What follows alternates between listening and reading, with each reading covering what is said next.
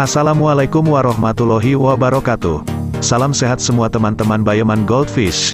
Pada kesempatan kali ini saya bagikan pengalaman mengatasi air mushroom yang sering kunci